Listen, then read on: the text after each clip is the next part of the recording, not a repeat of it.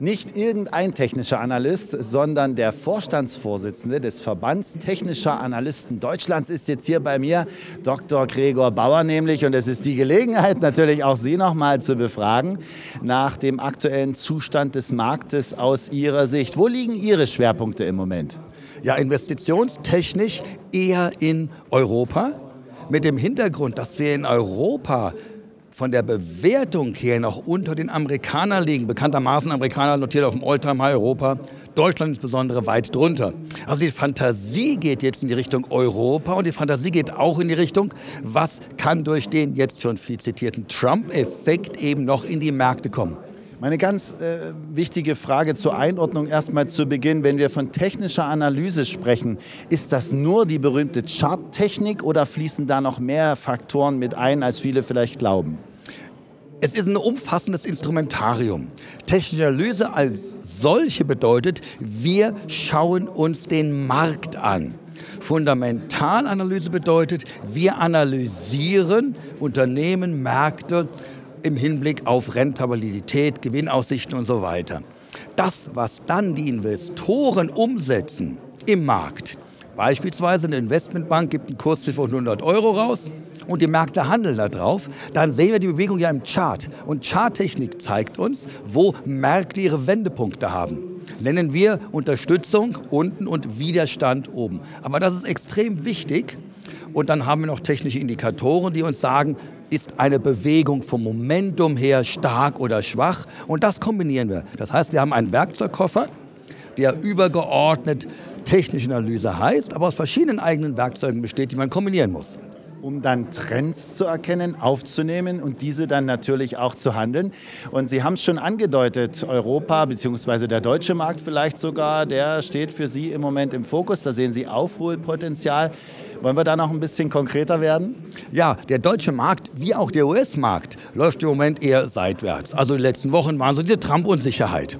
Die Frage ist jetzt, ist es denn gerechtfertigt, dass der Markt deutlich nach unten kommen würde? Also das Szenario, muss man sich erst mal überlegen. Meiner Meinung nach nein. Warum? Die Europäer, insbesondere die Deutschen, stehen ja konjunkturell wirtschaftlich nicht schlecht da. Mit anderen Worten, Investoren müssen jetzt nur nach der Trump-Unsicherheit wieder Mut fassen und sagen, okay, wir investieren jetzt. Was wir im Moment haben, ist ja quasi ein Investitionsstau. Die kaufen ja nicht. Aber wenn das wieder kommt, dann wird der Chart, und ich rede jetzt wieder von der Charttechnik, neue Hochs bilden. Dann wird der Markt eben auch das bisherige Allzeithoch angreifen. Aber dann wird es eng, denn Allzeithochs sind traditionell erstmal Kurse, die werden nicht so leicht durchbrochen. Also meine Idee für den deutschen Markt wäre, dass wir in den nächsten Monaten, vielleicht nach einem Rücksetzer, dann doch Richtung des Allzeithochs laufen werden. Das muss nicht morgen sein, aber auf Sicht von einem halben Jahr bis Jahr, denke ich, werden wir da sein, ja. Und dann müsste man sich die Situation neu betrachten. Dann kommt es darauf an, ob das Allzeithoch geknackt wird oder eben nicht. Ähm, und dann muss ein technischer Analyst wie Sie natürlich äh, nochmal die Facetten dann neu beleuchten. Wollen wir mal aber bis dahin auf dieser Wegstrecke vielleicht noch ein paar andere Anlageklassen äh, besprechen? Äh, DAX haben Sie schon so eine Prognose genannt. Wie sieht es denn zum Beispiel für unseren Euro aus? Der Euro. Also für den Euro sehe ich eher schwarz, will sagen, sehe ich eher Schwäche gegen den Dollar. Warum? Auch aus Fundament. Könnte den DAX ja auch stützen dann am Ende, ja, würde ja. passen. Ne? Durchaus, durchaus, ja. Das ist nämlich genau der Witz an der Sache. Die Amerikaner, also Trump mit seiner Politik, wird hier aller Voraussicht danach sorgen, dass der Dollar stark bleibt. Stichpunkt Zinserhöhungen gewollt, vielleicht mehr als Yellen sie will, die wahrscheinlich auch eh nicht mehr lange im Amt sein wird, weil sie ja mit Trump über Kreuz steht. Stichpunkt eben ähm, Wirtschaft, wenn die Maßnahmen sagen wir mal, greifen, die Trump ja in Aussicht gestellt hat, dann wird auch die US-Wirtschaft, Steuersenkung, Infrastrukturmaßnahmen, wird ja florieren. Das alles stärkt den Dollar. Das Blöde für Trump ist, das hat er ja auch mittlerweile erkannt, ein starker Dollar wiederum seine Bemühungen konterkariert, unsere Exportchancen aber wieder erhöht. Ich denke, dass diese Parität, Fantasie, wie man sie vielleicht letztes Jahr noch genannt hat, durchaus in 2017 Realität werden könnte, denn so weit sind wir von der Parität gar nicht mehr entfernt. Und wenn das Szenario Trump-Effekt weiter sich so entwickelt, dann werden wir in 17 auch die Parität noch mal sehen, denke ich. Auf der anderen Seite müssen wir aber auch ehrlich feststellen, dass seit der Wahl von Donald Trump zum US-Präsidenten der Dollar sich ja schon kräftig bewegt hat. Der Euro ist zum Dollar um acht oder neun US-Cent schon gefallen in den vergangenen äh, Wochen seit der Wahl von Donald Trump bis zu seiner Vereidigung. Äh, und äh, darüber hinaus ist der Dollar-Index, also der gegenüber vielen anderen Weltwährungen den Trend des Dollars anzeigt, auch auf einem Mehrjahreshoch. Also wie viel der Bewegung äh, ist denn da vielleicht sogar schon gelaufen? Ist es, ist es schon. Aber was man nicht vergessen darf, ist, wir haben ja die Bewegung gesehen aufgrund des Trump-Effektes, aber wir werden die Bewegung, wenn es so kommt, aufgrund des Zinseffektes noch verstärken. Also mit anderen Worten, währungstheoretisch sind natürlich steigende Zinsen an einem Land gut, in Anführungsstrichen, für die Währung, ziehen Kaufkraft in die Währung rein. Das heißt, wenn die Zinserhöhungsrunden kommen, wird das dem Dollar, denke ich, nochmal Auftrieb geben.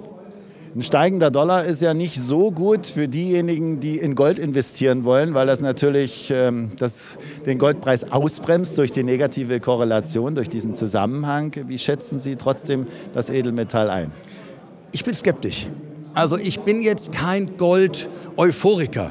Natürlich haben wir gesehen, dass Gold sich jetzt wieder stabilisiert hat. Das ist gar keine Frage.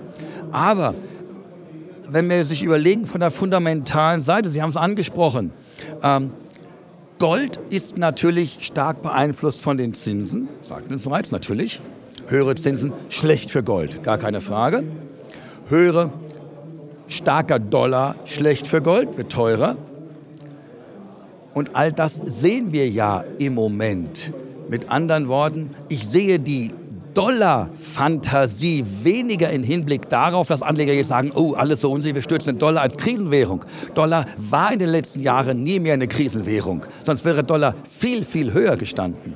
Sondern der Dollar, äh, Gold meine ich, Entschuldigung, Gold viel höher gestanden. Sondern Gold ähm, notiert immer so im Bereich, so mal 1200, ein bisschen 1100 aber es hat nie den Sprung nach oben geschafft. Und ich frage mich jetzt, rein aus der Logik her, warum sollten jetzt Investitionen in Gold erfolgen? Aus welcher Motivation der Anleger raus? Und das sehe ich keine. Es gibt den Punkt der Inflationsfantasie. Wir sehen ja steigende Inflationsraten auch durchaus hier in der Eurozone, natürlich bedingt auch durch die Energiepreise etc. Aber das könnte ja dann schon wieder den einen oder anderen dazu motivieren, dann durchaus mal, sagen wir mal, den Anteil des Goldes im Portfolio zu erhöhen. Ja, allerdings diese Inflationsfantasie ist zum einen meiner Meinung nach schon ein bisschen ausgelebt, dadurch, dass Gold ja gestiegen ist. Sind jetzt die Werte rausgekommen. Wir haben ja gesehen, wir haben deutlichen Anstieg der Inflation gehabt in Deutschland. 1,7, Europa 1,1, USA 1,9 im Verhältnis zum Dezember 15, 16. Aber das ist meiner Meinung nach schon drin. Und wenn man sich mal anguckt, Inflation, die Kerninflationsrate, die ist ja nicht stark gestiegen. Die Inflation ist gestiegen durch die Energiepreissteigerung. Aber die Energiepreissteigerung ist durch. Wir werden keine weitere Ölpreissteigerung in dem Bereich mehr sehen, weil die Produktionskosten deutlich gesenkt wurden. Es wird keine Ölpreissteigerung deutlich mehr durchgedrückt werden. Das heißt, die Inflationsrate in den nächsten Jahren sehe ich eher wieder sinken. Das heißt, es wird keine Motivation geben, auf Basis der Überlegung Inflation auf Sicht 2017, 2018 jetzt in Gold zu investieren. Wo könnte denn da die Obergrenze sein, sagen wir mal beim Brent Crude Oil zum Beispiel? Ich denke, da sind wir. Ähm, man kann ja zeigen, dass die Produktionskosten zum Beispiel der Fracking-Industrie. Und das hängt ja, WTI, Brent, das hängt ja zusammen. Das ist ja, ähm, die lernen nicht unabhängig voneinander, mit einem gewissen Gap natürlich, aber ähm, sind doch schon gelingt. Also die Fracking-Industrie in den USA, die ja sehr mächtig war, bevor der Ölpreis stark gedrückt wurde, hat ihre Kosten dramatisch senken können und die Produktionskosten sind jetzt wieder so, oder die Kosten sind so gesunken, dass ein Ölpreis, wie er jetzt existiert, und ich sage mal grob 55, vielleicht bis 60 Dollar, wieder sehr profitabel sind. Und ich denke nicht, dass der Ölpreis deutlich über diese Marke hinaussteigen wird, sondern eher denke ich, dass die sich wieder zerstreitet, dass die wieder anfangen zu fördern und dass der Ölpreis eher wieder runtergeht, dass es dann nochmal wie man auch lesen konnte, auf 70, 80 steigt. Ich persönlich glaube nicht daran. Also aus Ihrer Sicht mehr Abwärtspotenzial als Aufwärtspotenzial? Im Öl ja. Im Öl.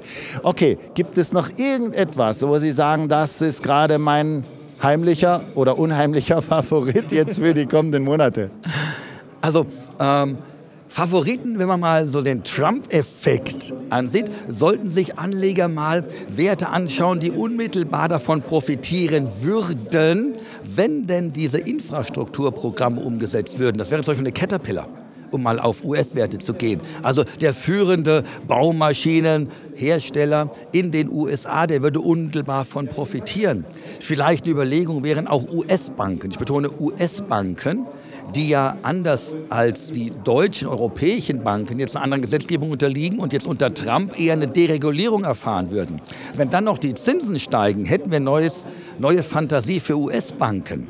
Sind aber auch schon gut gelaufen. Also. Sind gut gelaufen, aber wenn die Fantasien umgesetzt würden, nehmen wir an Zinssteigerungen und so weiter, das neue Geschäftsmodell wäre ja dann wieder, es würden Banken erlauben, über Zinsen Geld zu verdienen, was sie jetzt nicht weil er jetzt de facto tot ist, dann sehe ich auch für Banken noch Potenzial. Das ist jetzt kein, kein Billig-Pick, wie Deutsche Bank beispielsweise, das ist ein anderes Thema. Auch eine Goldman Sachs, denke ich, wäre an Bankenseite ähm, auf Sicht des nächsten Jahres durchaus eine Empfehlung wenn wir dann aber als deutscher Anleger im Hinterkopf haben, was Sie am Anfang gesagt haben, nämlich, dass Sie Abwärtspotenzial beim Euro zum Dollar sehen, müssen wir das schon berücksichtigen, ja, auch okay, bei Investitionen in amerikanische Werte oder können wir das da vernachlässigen, weil die Kursanstiege, die Sie erwarten, das überproportional kompensieren würden? Das ist natürlich jetzt ein bisschen gut, wäre dann ein bisschen Gurutum, ja, ist klar. Ist natürlich alles mit uns, da haben Sie völlig recht, mit Unsicherheit belegt. Ich muss ja nachhaken, ne? ich bin ja nicht zum Spaß hier. Wir haben, wir haben natürlich immer eine Währungsunsicherheit, gar keine Frage. Also Vorausgesetzt immer, ja, wir haben Währungsrisiken, aber Sie sagen es richtig. Ich denke, dass die Kurspotenziale von Volks erfolgsversprechenden Aktien, wie zum Beispiel Baumaschinen, ich kann gleich noch andere nennen, ähm, höher zu bewerten sind als eventuelle Kursverluste, denn der, der Euro wird auch nicht, der Dollar wird nicht in den Himmel steigen, der Euro wird auch nicht ins Endliche abstürzen. Auch da gibt es Grenzen. Das heißt, dass ich da eher die Seite, die Währungsseite auf längere Sicht positiv sehe. Aber ich habe noch ein paar Ideen, was Sie nachgefragt haben. Ähm, so der nächste ich habe das vorhin mal Industrie 4.0 genannt, die nächste Fantasie, nämlich die Roboterindustrie. Roboterindustrie, da sind wir in Deutschland jetzt gar nicht so mit dem Thema beschäftigt. In USA gibt es da Werte wie Teradyne zum Beispiel, ein bekannter, auch großer Wert, auch in Deutschland handelbar, der sich zunehmend mit dem Thema Herstellung, Systemierung, Programmierung von Robotern beschäftigt. Und jetzt nicht nur Roboter, wie wir sie kennen, irgend so ein Schweißroboter an einem Autofließband, sondern intelligente Roboter. Man nennt die Collaborative Robots. Also Roboter, die unmittelbar mit Menschen zusammenarbeiten, ganz neues Forschungsfeld. Und da denke ich, wird die nächste, man sagt schon, industrielle Revolution kommen. Also erst die Dampfmaschinen und jetzt die Roboter. Das ist aber keine, keine Fantasie, die aus der Luft gegriffen ist. Ich denke, diese Firmen, übrigens eine Infineon kann man im weiteren Sinne auch in den Bereich einordnen, in das Thema.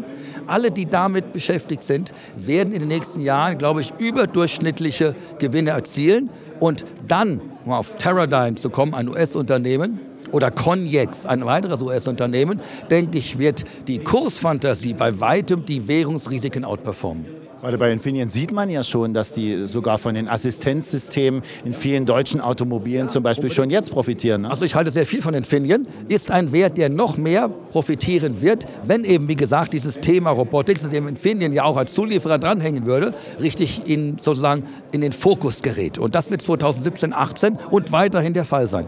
Ich könnte stundenlang noch mit Ihnen weiter plaudern, aber wir wollen es heute nicht zu lang werden lassen. Ganz herzlichen Dank für diese auch sehr konkreten Einblicke und Empfehlungen. Damit können unsere Zuschauer sicherlich auch viel anfangen. Und äh, da würde ich sagen, schauen Sie sich die Werte einfach mal an und dann entscheiden Sie nach Ihren ganz persönlichen Meinungen natürlich, ob Sie die Ideen von Dr. Bauer umsetzen möchten oder eben dann vielleicht im einen oder anderen Fall auch nicht. Dankeschön, Herr Dr. Bauer.